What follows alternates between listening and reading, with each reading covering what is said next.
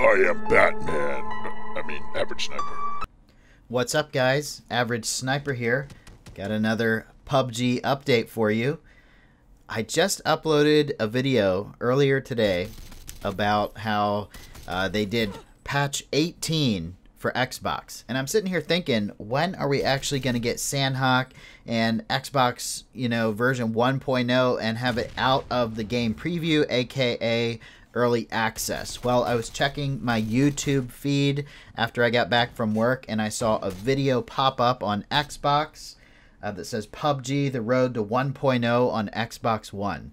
So I was like, okay, let me check this out. In this video, they announced that uh, Sanhok, War Mode, and achievements are coming to Xbox PUBG on September 4th. And this also means that we will be out of early access and on PUBG 1.0 for Xbox.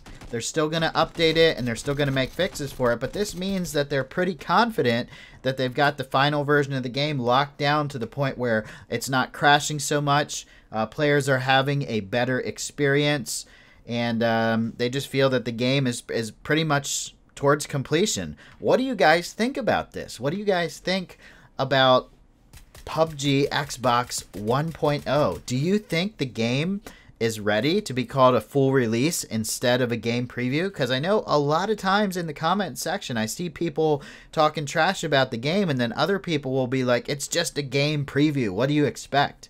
But now it's going to be a full release. All right, a full release in less than a month on September 4th. We're getting it. PUBG Xbox 1.0 Sanhok map, War mode, achievements you can work for. And this is all great, guys. This is all amazing. I personally, and I don't know if this will ever happen, I would like to see 60 frames per second before we call it a full game release, or at least something better than 30. Maybe a frame lock between 30 and 45, and maybe 60 frames per second for the people with the Xbox One X. But yeah, I've heard some reports that the game runs pretty bad on the uh, OG Xbox and the Xbox One S, and even on the Xbox One X. So I'm really hoping there's some magic that's going to happen before September 4th to make the game a little better. But either way, I'm just happy that the game is stable.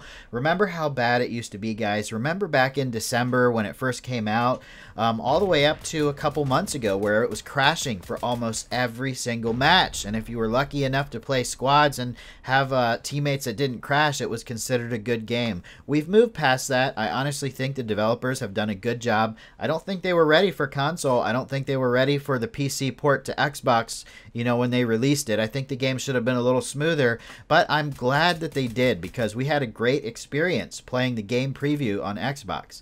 Oh, and yes, your achievements will carry over from the game preview to the 1.0 release. So all your BP and everything like that should come right over. I can't wait to see it, guys. I can't wait to play uh, the Sanhok map on September 4th. I can't wait to try the War mode out on Xbox, and uh, I can't wait for for the achievement system to give you an incentive to play the game more. You know, sometimes it gets frustrating when you're not getting a chicken dinner uh, every time that you play, or every day, or you know, you need something else other than just the chicken dinner to to go for, to strive for, other than a dirty gray tank top and some uh, bloody sneakers or whatever. you know what I mean?